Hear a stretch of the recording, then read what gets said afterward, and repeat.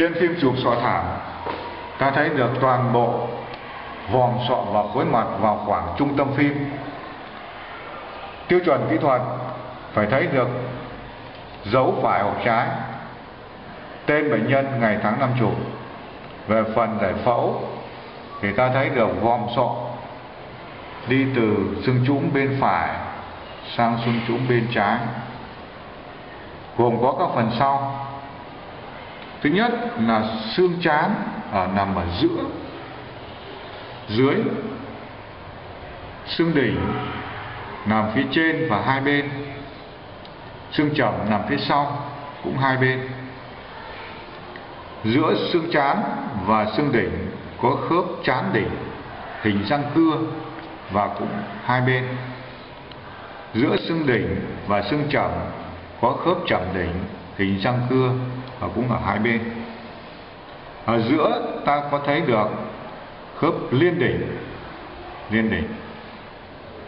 Về phía ngoài ta thấy được xương vòm sọ gồm hai bản xương xương bản trong, mỏng và gồ ghề lồi lõm, có nếp nhăn não. Xương bản ngoài, dày và nhẵn, bao bọc bên ngoài về khối mặt, thì ta thấy được, thứ nhất, ở phía trên có xoang trán, hình màu gà sáng, và có hai xoang xoang trán bên phải và xoang trán bên trái.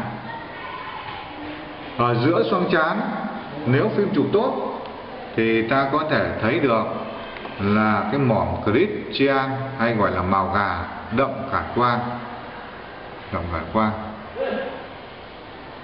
phía trên là trần hốc mắt trùng với cánh lớn xương bướm trùng với cánh lớn xương bướm. Ở phía ngoài tạo nên một góc. Đây là cái đường xích tem ve mở tạo nên một góc nhọn ở hai bên. Phía phim chụp tốt thì chúng ta thấy rõ hơn. À, đây là đường stem ve mở stem ve mở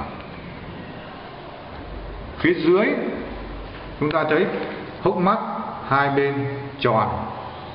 Hốc mắt hai bên tròn. Trong hốc mắt có khe bướm sáng. Có khe bướm sáng. Trong hốc mắt và phía dưới có hốc mũi. Hốc mũi hình tháp.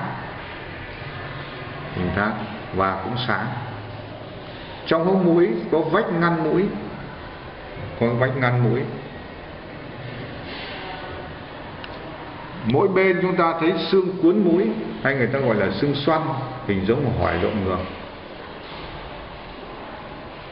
Hai bên hốc mũi, ta thấy có những cái đốm sáng đốm sáng, nên là các xoang sàng xoang sàng ở giữa hốc mắt, ta thấy đường mờ này gọi là bờ trên xương đá. Giữa hốc mắt, hai bên, bờ trên xương đá. Bờ dưới xương đá ngang với bờ dưới hốc mắt. Bờ dưới xương đá ngang với bờ dưới hốc mắt. Hai bên. Phía dưới xương đá và hai bên hốc mũi, ta thấy một khoảng sáng rất lớn, hình tam giác. Đây là xoang hàm. Cũng hai bên. Xoang hàm.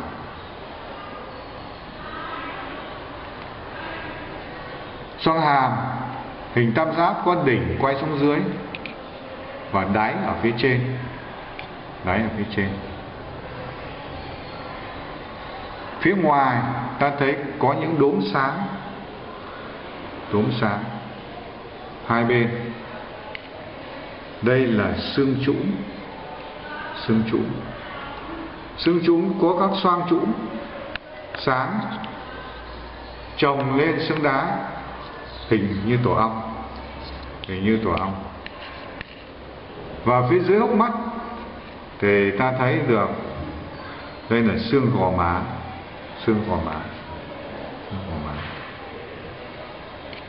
phía dưới của hốc mũi và hốc mắt thì ta thấy được đây là toàn bộ xương khẩu cá, xương khẩu cá. Hay người ta gọi là xương hàm trên. Xương khẩu cái này ôm trọn lấy xoang hà xoang hà. Và phía dưới có răng có răng. Phía tiếp phía dưới chúng ta thấy được toàn bộ xương hàm dưới. Xương hàm dưới. Có ngành ngang ngành lên ngành lên tận cùng là lồi cầu xương hàm dưới và cầu xương hàm dưới. Và phía trong thì có mỏng vẹt. Mỏng vẹt thấy rất rõ. Bên này cũng vậy. Đây. Đây là lồi cầu xương hàm dưới. Đây là mỏng vẹt. Về tầng đèn sọ thì chúng ta có 3 tầng. Tầng thứ nhất là tầng trên. Tầng trên ngang với cánh lớn xương bướm hoặc trần nền sọ đây là tầng trên. À, tầng trên.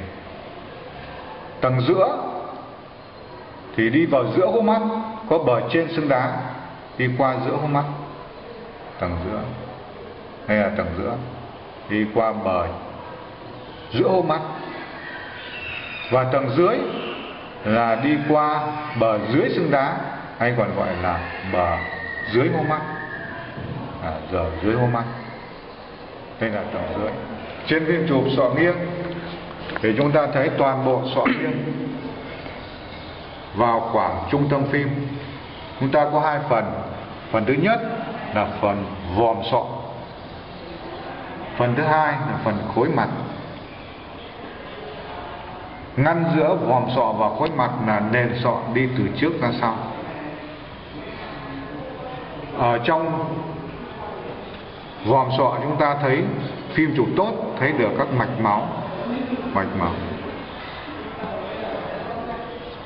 Về xương vòm sọ chúng ta cũng có hai xương. Xương thứ nhất là xương bản trong gồ ghề lồi lõm, có nếp nhăn nạo xương bản ngoài, nhẵn và dày. Nhẵn và dày. Trong xương vòm sọ, chúng ta thấy được toàn bộ xương trán, xương đỉnh và xương chẩm xương chẩm có u chẩm dày, lồi ra ngoài giữa xương chán và xương đỉnh có khớp chán đỉnh. Khớp chán đỉnh. Giữa xương đỉnh và xương chẩm có khớp chẩm đỉnh. Phía trên trước vòng sọ có thóp. Brecma thóp này à, trẻ em thì chưa liền. Thì lớn lên là liền. Và thứ hai là top lambda ở phía sau. Ở phía sau. Về cuối mặt thì chúng ta thấy được, thứ nhất là nền sọ đi từ trước ra sau gồm có các phần sau.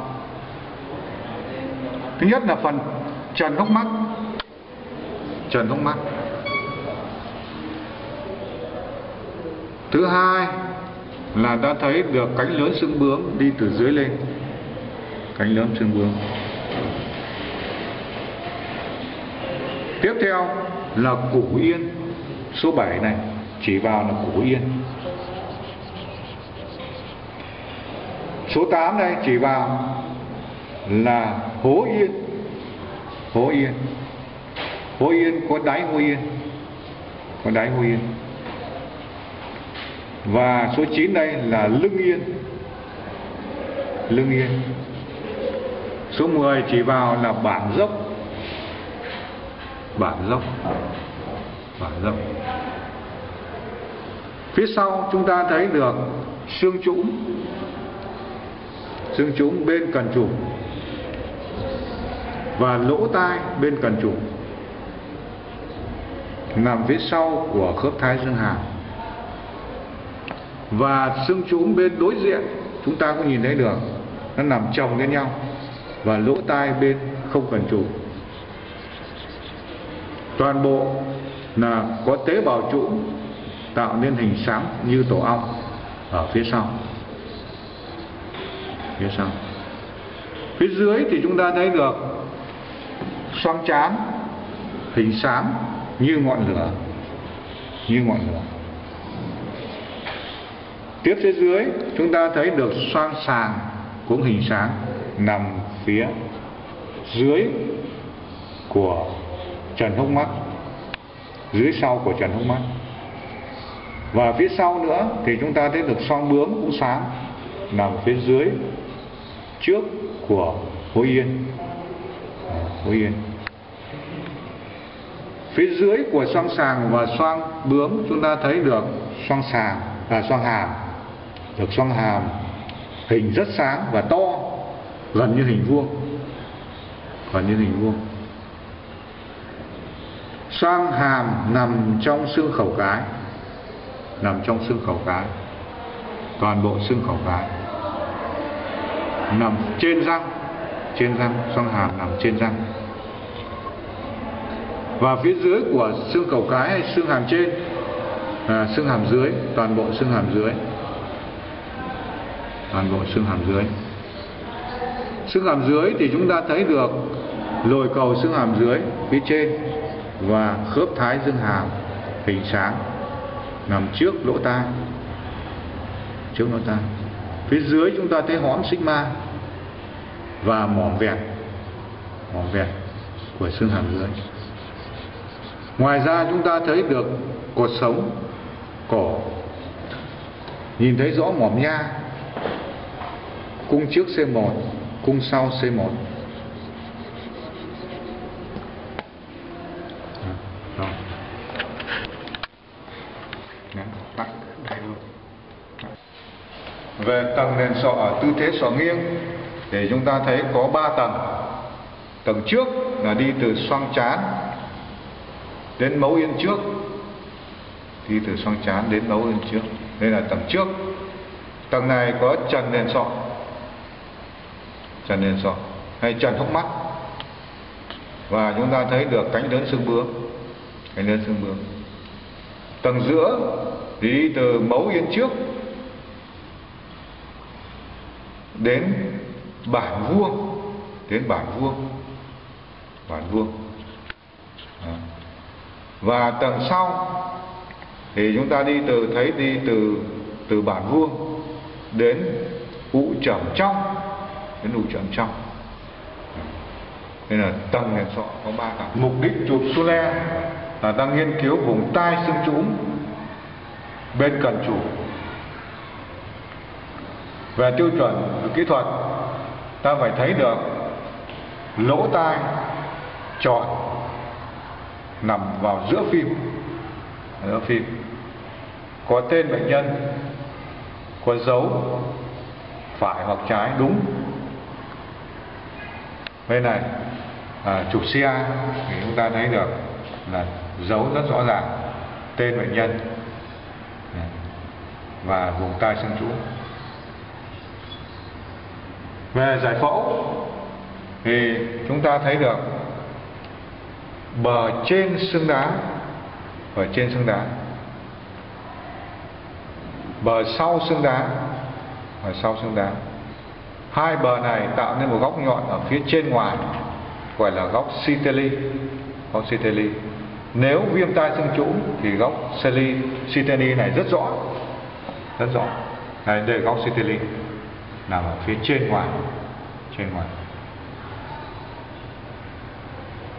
Ta thấy được bóng sáng của lỗ tai trong nhỏ bên trong và bóng sáng của lỗ tai ngoài chồng lên nhau à, thành một khối tròn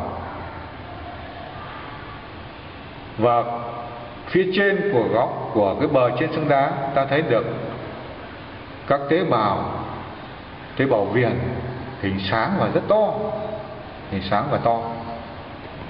Và tế bào xương trũng nằm phía trong, nhỏ hơn nhỏ hơn. Khi bị viêm thì các tế bào này bị mất bị mất. Đây, những trường hợp bị viêm là mất toàn bộ các tế bào xương trũng gọi là viêm tai xương trụ viêm tai xương trụ